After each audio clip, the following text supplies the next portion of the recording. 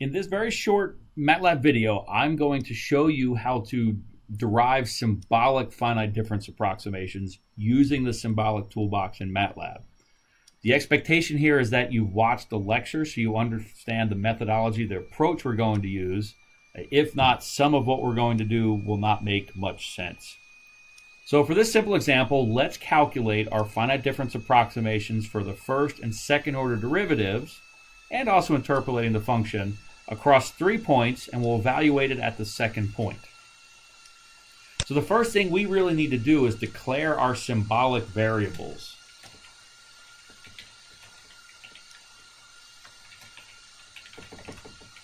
So we use the function syms. We'll need h for our grid spacing, and we need three function values, f1, f2, f3.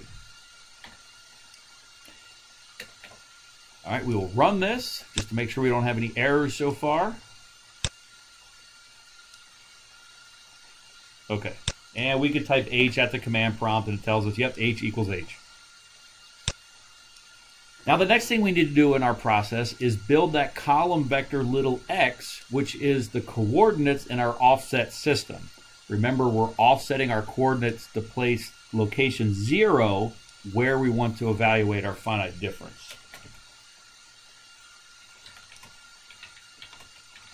So we'll define our offset points, little x. We have three points, so we need to put three numbers in here separated by semicolons so that we get a column vector. If we want to evaluate our finite difference at the center point, that's 0 in our offset coordinates. If our grid spacing is h, that makes the first point at minus h and the second point at plus h. Now we don't need to write the plus in MATLAB, but I like doing that because it just visually goes with the minus h over here. Then we need our column vector f which will have the function value at each of these points. So we have F1, F2, and F3. And we can just hit space, and then we can see a, one-to-one matching between the, the X and the F. Let's leave the semicolons off, and we'll run it. And we should see a column vector X and a column vector F. And so we can see our offset coordinates and our function values. The next thing we need to do is build this matrix X. But I want to do this in a way so that if I want to add or subtract more points, I can control that solely through these two lines of code, and everything else will handle any matrix size, any number of points. So we won't have to change the rest of the code. So no hard-coded numbers. Build matrix X. Well, the first thing we would like to do, since we don't want to hard code any numbers, is figure out how many points we have. So we'll look at the length of x.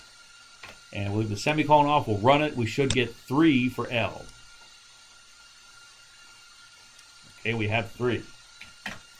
Now we can start to build x. What we want to do is initialize it with all ones going down that first column. I'll leave the semicolon off. We'll run it. Okay. So we see all ones. Now there's still a problem with x. x right now is just a one-dimensional array of double floating point numbers. If we go ahead and try to add symbolic variables to that, MATLAB will yell at us. So what we need to do is declare that array of ones as symbolic.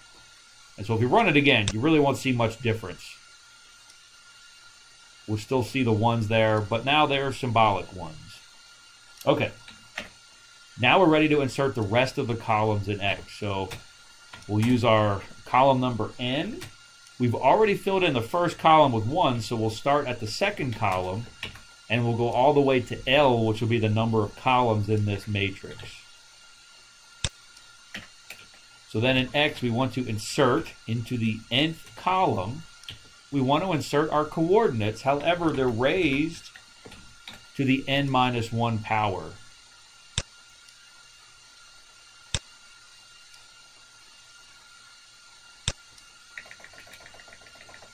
Okay, and so let's display x. Make sure everything's correct. And there is our X matrix. We have ones in the first column. The second column are our offset coordinates. And the third column is the offset coordinates squared.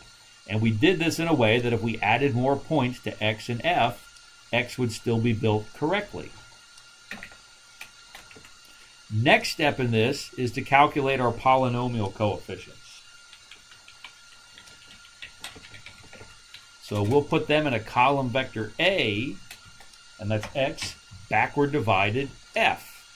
Again, we'll leave the semicolon off to make sure that we get a column vector that will have symbolic expressions in it. Those symbolic expressions are almost our finite differences, but not quite especially for this, this last row. Remember, we have to multiply that by 2. Okay.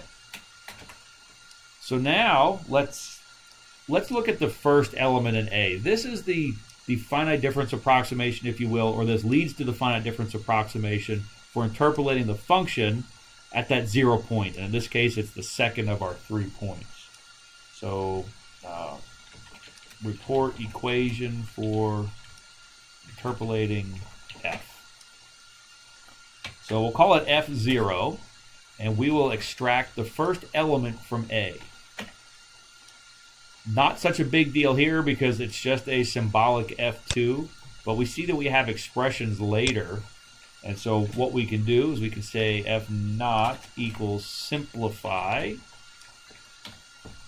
F naught. Okay, let's go ahead and display or tell the person at the command prompt what we're about to show.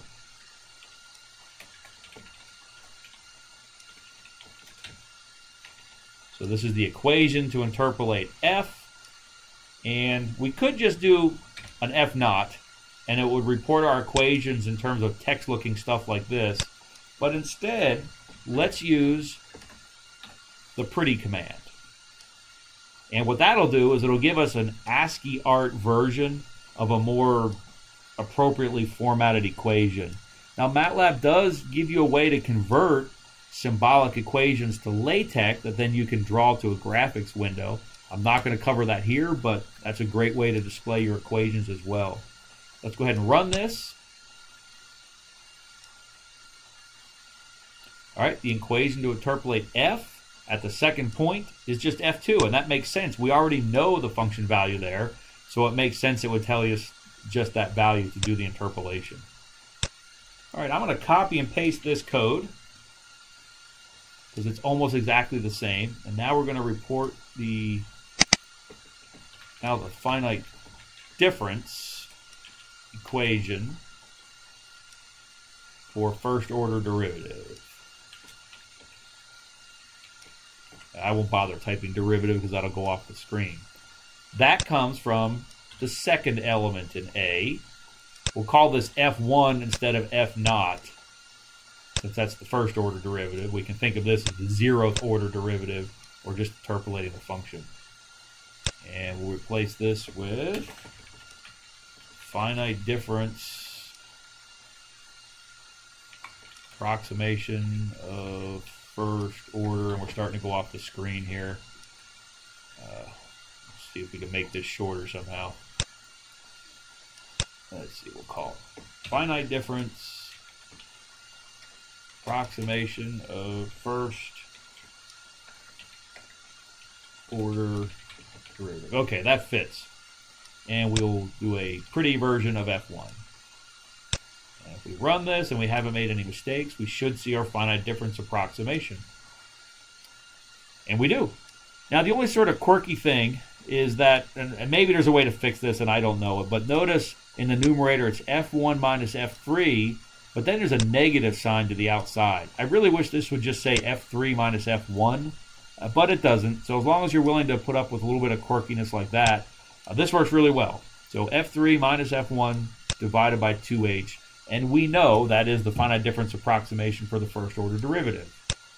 So we've confirmed that that works. All right. And now we're moving to the second order. We will call this F2. We will pull off the third element in A. Be sure to replace all the F1s with F2. And explain the second order. And that really should be all we need to do.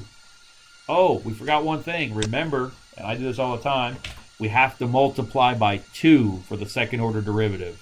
We originally had an x squared in the polynomial, and when we differentiated twice, that 2 came to the outside. So don't forget that.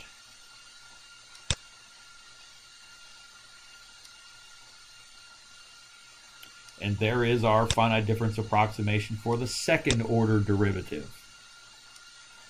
So very quickly, I will do one other finite difference just to show you how easily modified this is. Let's say we had four points and we want to evaluate our approximations, I don't know, at maybe at the midpoint between the first and second point. So right away in this F column vector, we know we'll need to give it an F4. And we'll declare an F4. And now we need four numbers for X. Okay. We want our zero to be at the midpoint between these two points. That would make our first point at minus h over 2, and our second point at positive h over 2. Then, of course, our third point will be positive 3 times h over 2, and the last point, positive 5 times h over 2. That places the 0 between these two points, and everything else should just work out. Let's go ahead and run it and see what we get.